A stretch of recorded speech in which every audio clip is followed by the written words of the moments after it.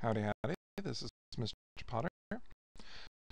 Today we're going to talk about how to install Grid World as part of our JCreator so that we can use Grid World on our home system. So the first thing I'm going to do is I'm going to open up my internet browser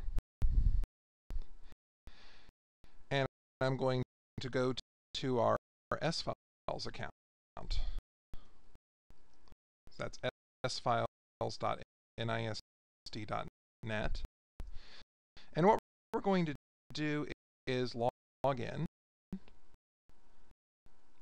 Remember that we log in with our S followed by our six digit student ID and our password is the first four letters of our last name and the last four digits of our social security number.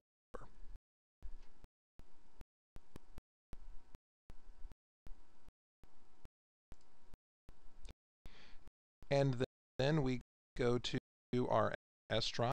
That's where the templates are, the stuff that your teachers have available for you. So we're going to go to our S drive. And We go to templates, math,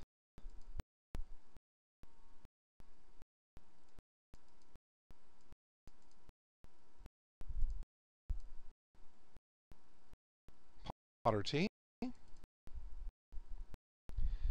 And then we're going to go to our AP Computer Science folder. And, and we have a zip file that has all of our grid world stuff in it.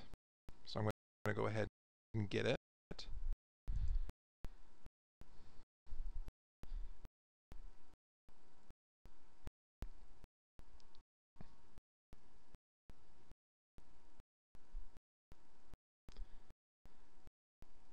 And so after we download this, we're going to extract this to a folder. I'm going to put it on my, desktop, but you can put it wherever it's a convenient spot on your hard drive.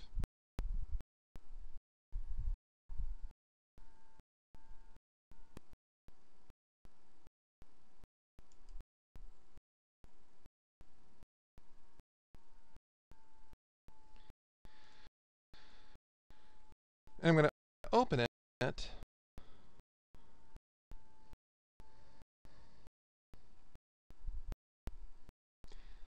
And I get this grid world code folder.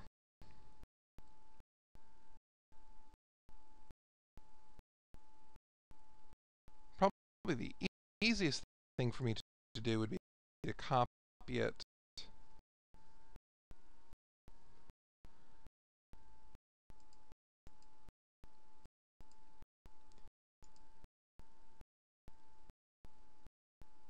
and then paste it onto my desktop.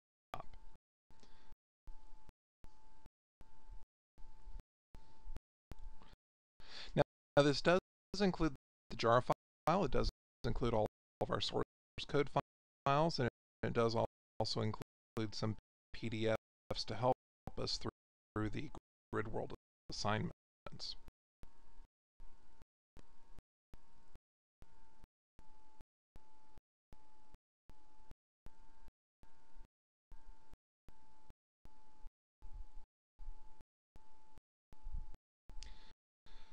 So now I can open this up and I should be able to see our grid world projects as well as some PDFs. So what I'm going to do next, now that I've got this folder on my desktop or in a convenient place, is I'm going to go ahead and open up JCreator.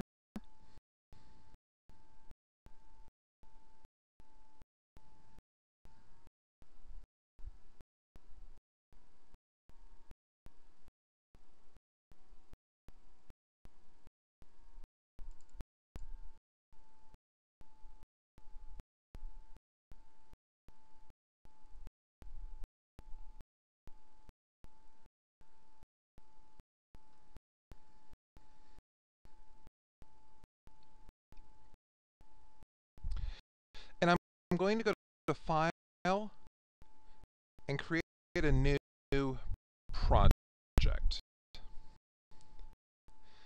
I'm going to choose Empty Project. I'm going to click Next.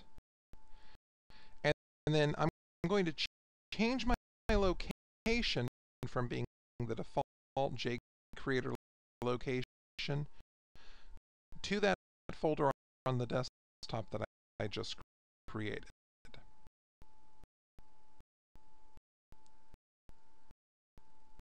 So I'm going to click on the location button.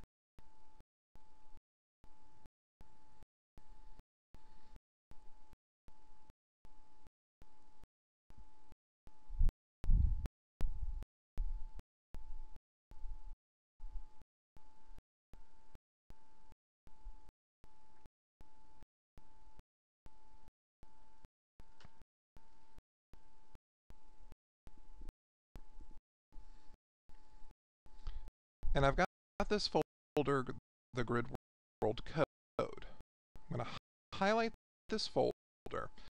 I don't, don't want to go into the folder. I just want to make sure that folder is highlighted. Click OK.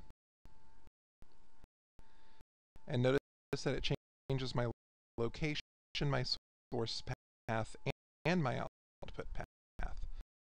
I'm going to click Finish the first time.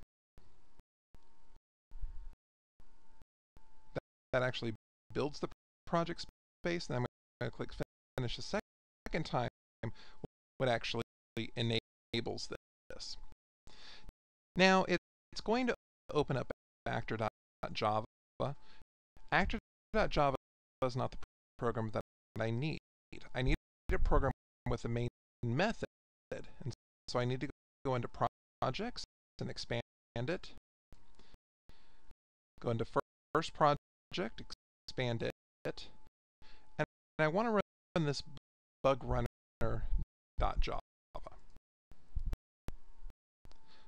So this is our, our bug runner.java. Notice that we have a main method here, and, and we've got some other methods that are being called. This I can actually go ahead and play.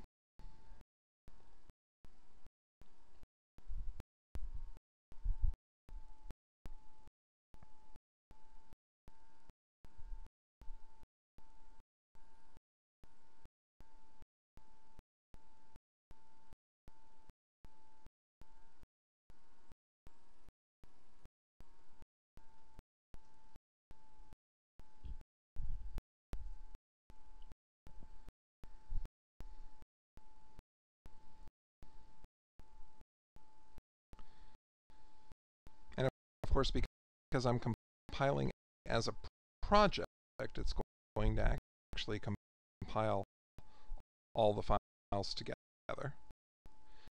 Process is completed. It's going to execute it.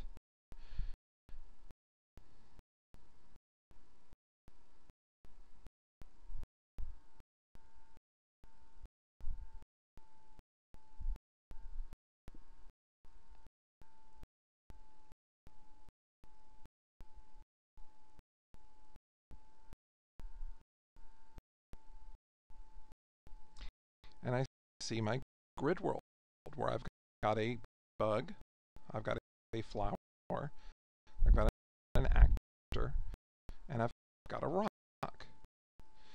And if I click step, it's going to take each of them one step forward so everyone acts. A bug acts by moving forward and placing a flower where it was. An actor acts by by flipping 180 degrees.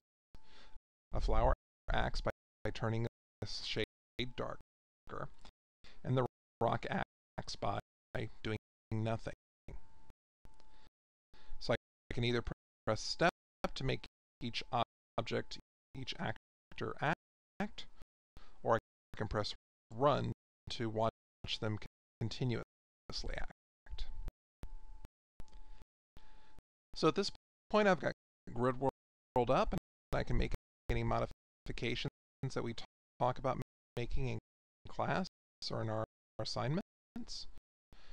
And we, can do whatever else we need to do with, with Grid World at this point.